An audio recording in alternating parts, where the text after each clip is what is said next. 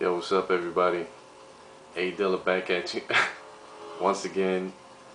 Um, just wanted to show you guys the GT5 glitch that uh, my brother invented. And uh, it's gonna... oh my god. It's coming up right there. I was about to say it's coming up in a second, so... Um, the point of this glitch we say is the impact of how hard he hit the other car and how high he goes in the air. So we paused it for you guys so we can show you the rotations and all that and how high he goes in the air. Um, this isn't a fake video. We didn't just make something up you know? Yeah. That's pretty high Yep. I'm dying to know how many people on YouTube are going to attempt that. Because that is a glitch in half.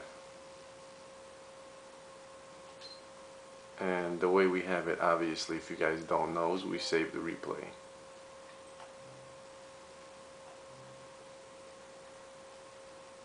Yeah, that's crazy.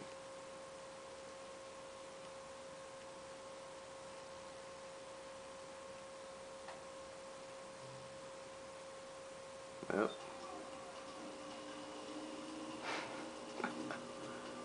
and yet, it still drives.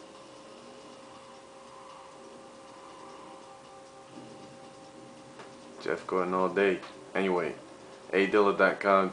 Check out um, my channel on here on YouTube. And uh, watch the rest of the videos that we got.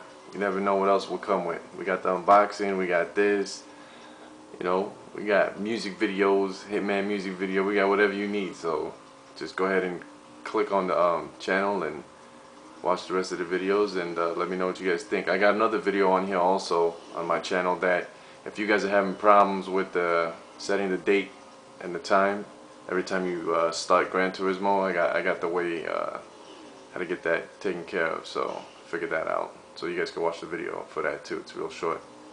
Anyway man let me know what's up with anything. If y'all need anything just leave me a comment or a question and we'll holler at y'all later